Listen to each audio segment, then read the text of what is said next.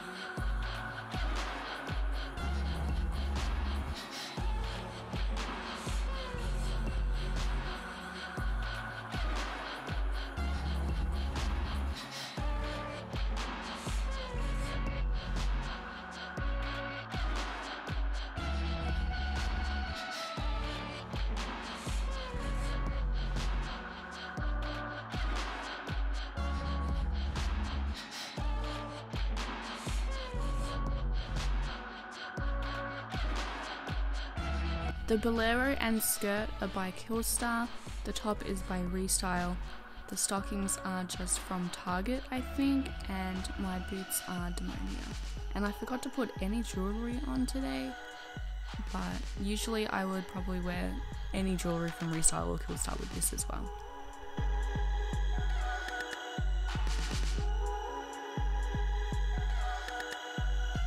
So thanks for watching this video. If you liked it, don't forget to give it a thumbs up and hit the subscribe button if you want to see more. And also go ahead and follow me on Instagram if you would like to. I'll see you next time. Bye.